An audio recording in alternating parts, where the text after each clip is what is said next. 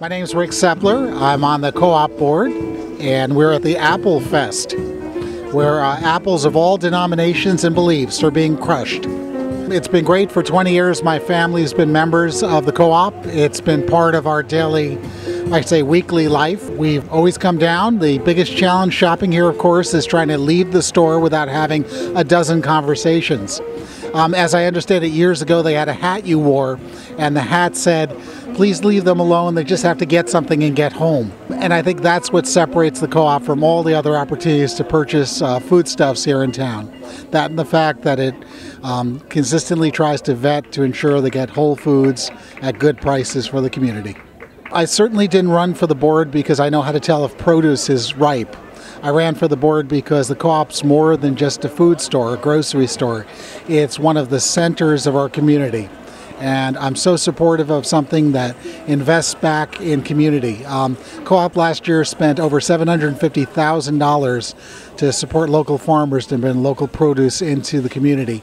And without that support, many of those farmers wouldn't be able to produce, wouldn't have the guarantee and there's a certain connection we make with where we live and the agricultural roots that serve Port Townsend, and the co-op amplifies that and implements it. I think benefit is having the satisfaction and working with uh, shopping in an organization that sole interest is reinvesting in community and providing good service.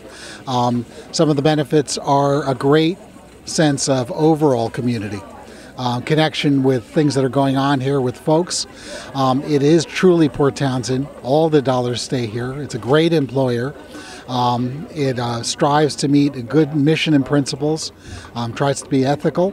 Sometimes the road is rocky, but for the most part, um, your membership is uh, is an entree into a broader connection with your community. Applefest is a, a wonderful example of community based connection. Um, it celebrates fall, it celebrates uh, uh, local produce, it connects uh, kids and elders, all members of the community, and it makes the, the uh, co op more um, approachable. And I'll note there's a whole bunch of board members that are here now. Um, it's a chance for us to talk just socially and informally with members, hear more what folks are about. It's also a great chance for you to uh, get to know other members and establish broader bonds. If you asked uh, to accomplish this year, I'd say there are two primary goals personally, and I think it's shared by a number of my colleagues on the board.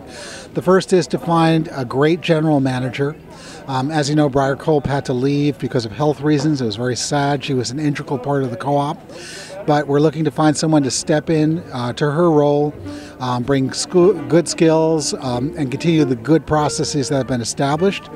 Um, the second is um, there's a strong interest from members of the board to work with our school district more to get Whole Foods more integrated into uh, the uh, food program that's provided to kids and education provided to kids about where food comes from. And I think those are the two significant goals uh, I personally have. And again, I know it resonates with a number of our, our other board members too. It's a beautiful day. It's a great time to be here. And thanks to everybody for participating in this food co op.